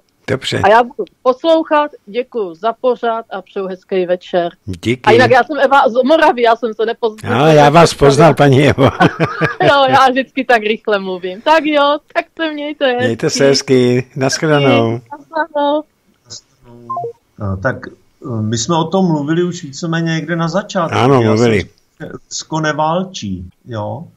Rusko vlastně bojuje, Ukrajina a vlastně nutí tu Ukrajinu taky bojovat, to znamená, oni jsou ve střetu hlavně ti bojovníci, ti vojáci, ale, což je regulární, ale Rusko neprovádí genocidu ukrajinského obyvatelstva, že by ho vyvražďoval. Ono zabíjí, ruští vojáci zabíjejí ukrajinské vojáky, které proti ním žene vedení jejich státu. No, logicky. Nic jiného jim momentálně nezbývá. Je to vojenská záležitost a je to podobně, jako to bylo, jak teď citoval pan prezident, citoval Batmana, takže no. já ocituji, uh, cituji, myslím, teď nevím, kdo to byl, jestli pan Vostřel, nebo kde v šíleně smutné princezně říkal, teď už je to v rukou generálů. To říkal, to, to, říkal, to, to říkal král Záhorský. To říkal král a, a byl to Záhorský, ano. Ano, Záhorský a ty, ty, ty, generálové byli právě Darek Vostřel a e, pan Kemer. Jo, jo, to byli ti, to byli ti generálové, ano. ano. Takže on říkal, teď je to v rukou generálů, takže teď je to v rukou generálů. A zatímco vlastně ta Ukrajina naprosto regulérně eh, ostřeluje pořád to území toho Donbasu s tím, že tvrdí, že střílí na svoje území jo, a míří na civilní objekty, tak ti Rusové eh, se snaží samozřejmě ničit především ty vojenské objekty, snaží se ničit infrastrukturu, která je vlastně pomáhá ve vedení té války, ničí sklady. Samozřejmě, když se kácí les, lítají lítaj třísky. Ale já bych klidně já to nevím, ty počty. Fakt je nevím, regulárně. Ale pokud se týče civilního obyvatelstva, tak je dost možný, že ten počet za ten rok a tři čtvrtě války a za těch pár dní tady je řádově srovnatelný. Já teda nevím. Protože na straně Ukrajiny to rozhodně nejsou desítky tisíc mrtvých civilistů. Oni ani na té straně ty Palestiny zatím to nejsou desítky tisíc mrtvých civilistů. Ale jsou to vysoké jednotky. Tak tam a... jsem se přečetl, že jich je tam asi 3700 mrtvých civilistů, včetně hodně dětí, ale kolik padlo nebo zemřelo civilistů na ukrajinské straně, nevím, to se nikde ne, jsem se nedočetl, ale za těch 8 let eh, té agrese, nebo respektive tomu, tomu bombardování a války na, na Donbase proti Don, Doněcké a Luhansku, tak tam zemřelo 15 000 civilistů. 13 až 15 tisíc. Ano, 13 až 15 tisíc, ale teďka tady na té ukrajinském území, když nepočítáme ten východ, tak tam jsem se počet mm, zemřelých nebo zabitých civilistů nedozvěděl, protože se to nikde, ne, nikde jsem se to nedočetl. Není uvedené, ale já se domnívám, že to nebudou, protože i když i kdybych tam k tomu řekl dobře, tak Buča, Rusové a tohle, to, o čemž mám svoje pochybnosti, ale dobře, nebudu tvrdit, je to tak nebo tak, že ty informace se dovíme až po válce hmm, konkrétně. Hmm. Jo. Ale podstatné je to, že uh, i tam to byly maximálně dejme tomu desítky lidí a těch mrtvých i teď zase je sporný to, ten úder, co byl teď na tu vesnici, jak se říká, to si nespomenu. Avdějevka? Ne, prosím, ne, Avdějevka ne. To byla jiná vesnice, a jak tam vlastně Rusové vypálili tu raketu s tím, že tam byl pohřeb nějakého bojovníka Azova. Jo, jo, a jo, jo, jo ne. vlastně stříleli na tu kavárnu, kde to probíhalo, kde byli shromážděni údajně ty jeho spolu, spolubojovníci. Teď tam samozřejmě i Ukrajinci tvrdí, že to byla vesnice, že to byli vesničani, kteří se tam sešli. Kde je pravda, nevím. Ale i v tomto případě to bylo 54 mrtvé. Hmm, hmm. I kdybych to vzal jako, že to byli fakt vesničani, nebo 53 tuším, ne 54. Takže dobře, samozřejmě je mi těch lidí líto. Válka je válka. S tím nic nenaděláte. Když bombardovali američani v posledních měsících vál, eh, války Čes, v České republice podniky, bombardovali Prahu a podobně, tak nás to stalo přes 7 tisíc mrtvých. Ano. 7 tisíc. Jo? To není ani to, kolik zařvalo lidí v Gaze. A dneska se o tom nikde nemluví. Jo? Takže uh, já víte, to je, je to ošidný. Říkat genocida a tohle to, to je hezký. To bychom taky mohli říct, že američani tady prováděli genocidu na konci války.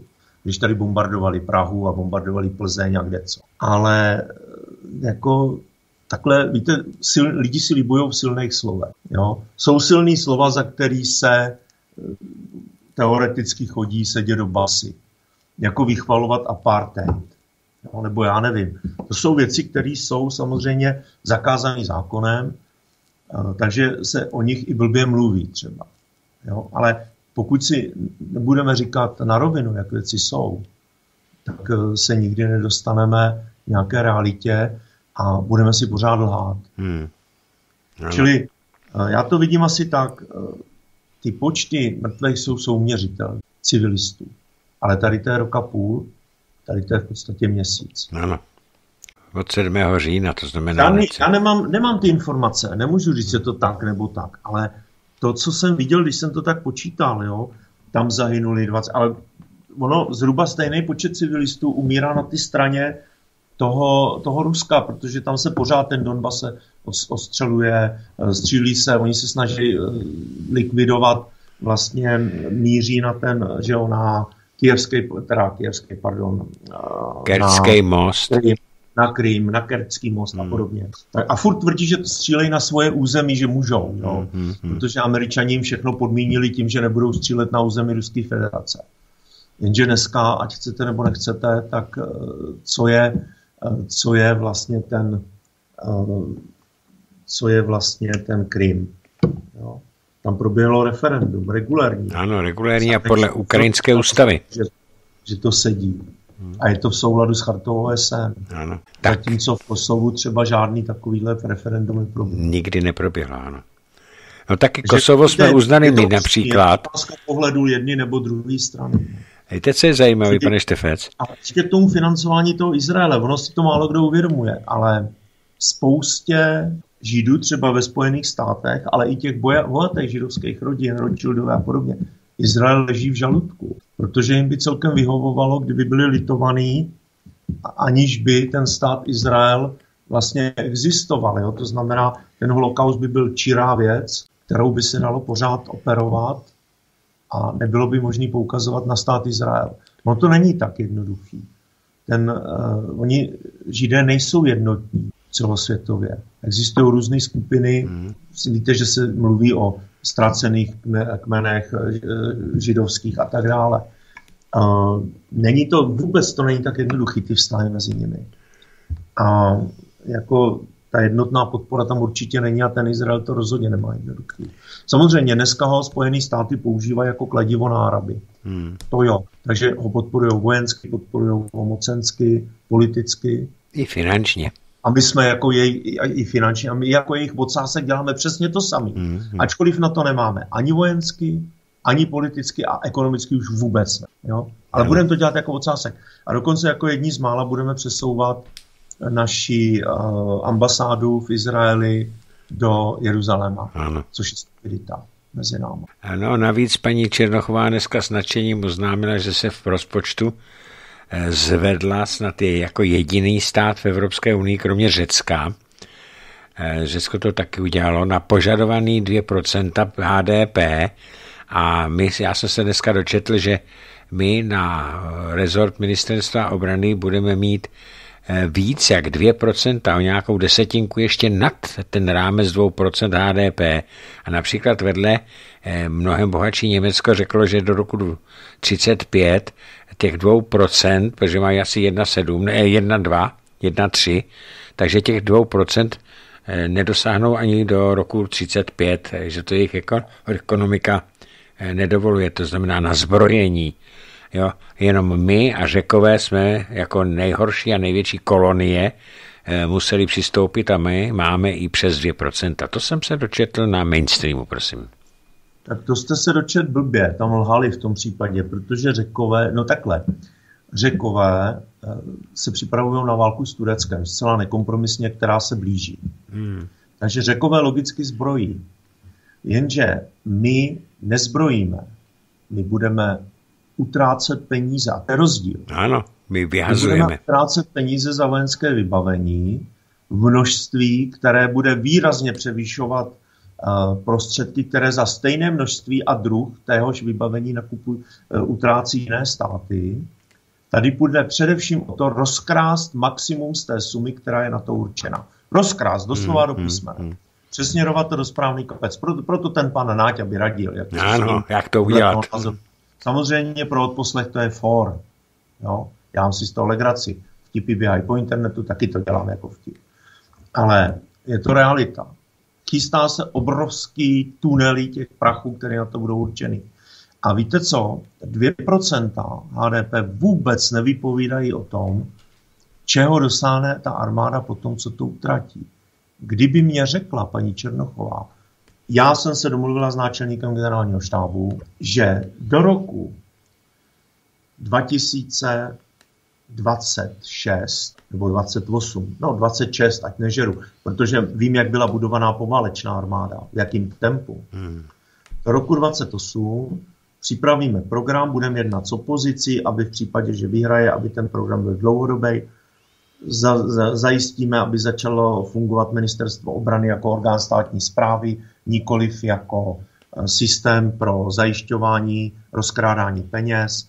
Tohle všechno zajistíme a připravíme program, ve kterém jehož cílem bude, aby armáda plnila požadavky zákona o ozbrojených silách, které v paragrafu 9 písmeno A určují, že armáda České republiky se připravuje na obranu České republiky a to je písmeno A. V písmenu B na případnou pomoc spojencům, bude-li to třeba.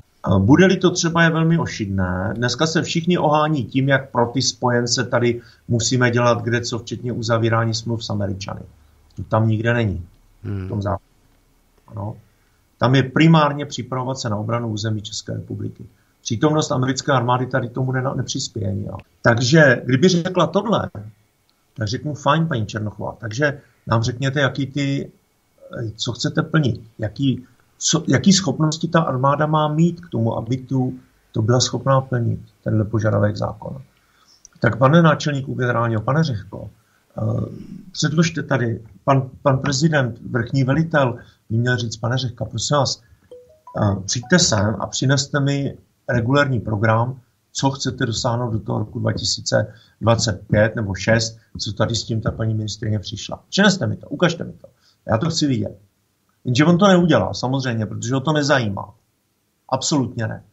To je figurka prostě. To není žádný vrchní velitel ozbrojených sil. A paní Černochová není ministrině. Paní Černochová je hokyně, protože ona se bude starat o to jako hokinářka, aby se co nejvíc toho rozkladlo. A ty 2% to je obrovský vítězství těch skupin, který se na to chystají a brousí si na to tvrdě. Je to Takže asi takhle to vypadá. Tak, mám tady další sms -ku. Dobrý večer. Vedení Hamásu prohlásilo, že žádný příkaz k útoku na civilisty nedalo, pouze na vojenské cíle. Myslíte, že nemají vliv na svou extrémně militantní složku, tedy ty představitelé Hamásu?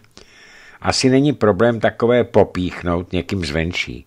Myslíte také, že v Hamásu nemá dodnes své podplacené lidi, pokud ho v podstatě zakládal? Eh, to se mi nějak nechce věřit, ale tím neříkám, že je to provokace války chtivého ultrapravicového vedení Izraele a důvod k takzvanému konečnému řešení v Gaze. Zdravím, Petr S. Petr z Dětkase. Z Dětkase. A jestli ten dětka se dětkův mlín, tak vím, kdo to je. Ano, ano, je to dětkův mlín. Jo, tak, tak ho zdravím. Ale víte co, to je strašně zajímavá Já věc. taky. uh, samozřejmě, já už jsem tady, zase jsem o tom mluvil. Hamas se stal de facto politickou organizací. A politici, aspoň tam, ti, kteří jsou aspoň trochu realističtí, tak se snaží uh, trošku kontrolovat generály úvozovka. Kromě našich politiků ty nemají co kontrolovat, protože když nemáte armádu, nemusíte ji kontrolovat.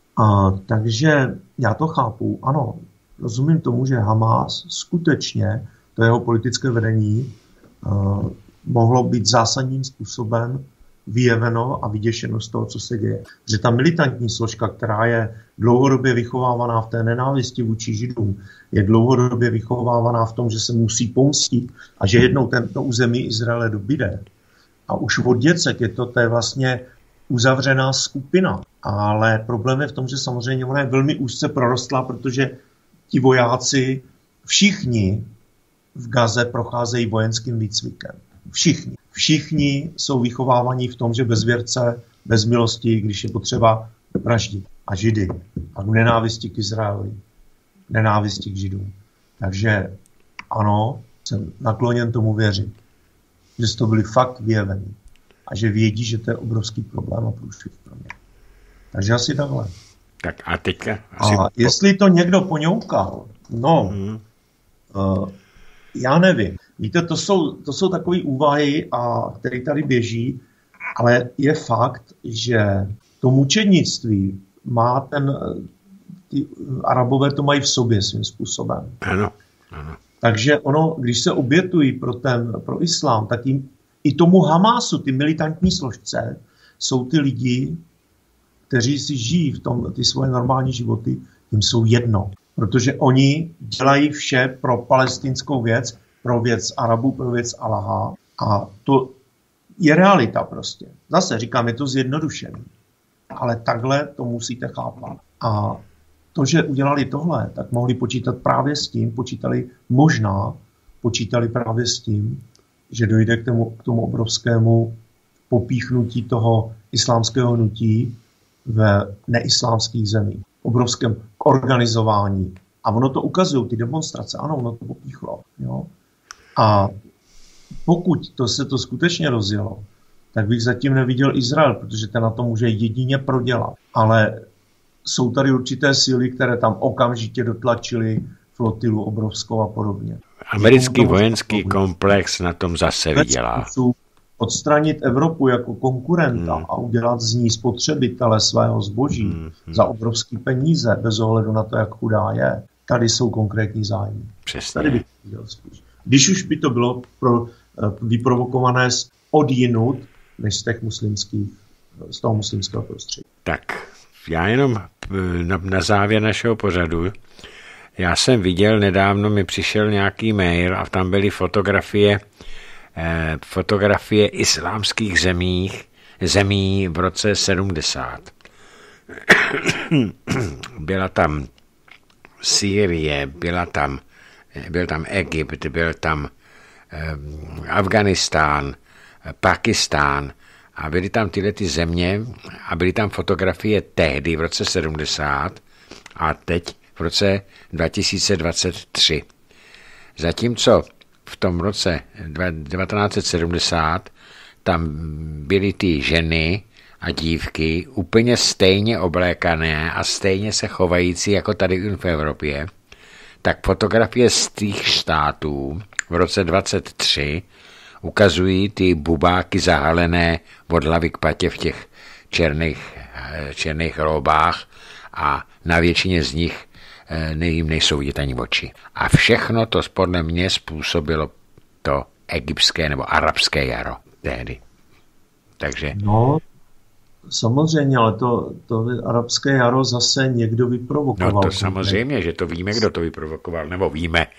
Říká se to, že to byl velmi velký zájem Spojených států právě pro, aby měli odbytiště na výrobu nebo na, na, na prodej zbraní. No samozřejmě, protože já vím, že třeba v Afghánistánu byla takzvaná československá nemocnice, perfektně vybavená hmm. na tu dobu.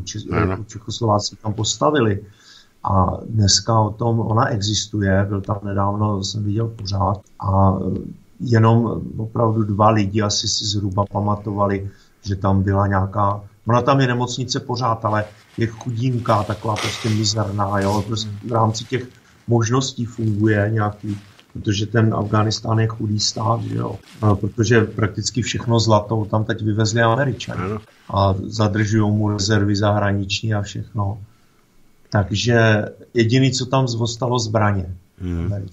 Šílené množství zbraní. je, je to, dneska tam vlastně se úzce navazuje na Pakistán, Afganistán hmm. a tak dále.